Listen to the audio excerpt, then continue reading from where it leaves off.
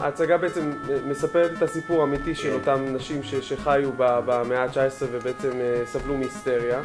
ואותו רופא? דוקטור גימינץ, מטפל בהם דרך אה, ויברטו, משחרר את הלחצים שלהם דרך סיפוק מיני ומביא אותם בעצם לאורגזמה תוך כדי הטיפול. אז מה, אנחנו רואים אורגזמה על הבמה? אנחנו רואים אורגזמה נשית. מספר אורגזמה גברית. אנחנו רואים את אורגזמה ה... הראשונה, בתולית. לא כמו כן. שרואים בסרטי הפורנו. כן, אורגזמה כן, משהו של- לא הארי פגש את סלי. של אה, פעם. אה, מהי ההצגה הזאת? מה מה הג'אנר שלה? קומדיה רומנטית פמיניסט. תקופתית. קומדיה רומנטית תקופתית פמיניסטית, מצאנו. הבנתי. אה, אוקיי, וואו, הרבה. כן. הרבה. אז מה, זאת הצגה מצחיקה, היא קומדיה, היא דרמה? זו היא- הצגה מצחיקה, היא מרגשת, היא מותחת, היא, היא הכל מהכל בעצם, באמת, זה יופי של דבר.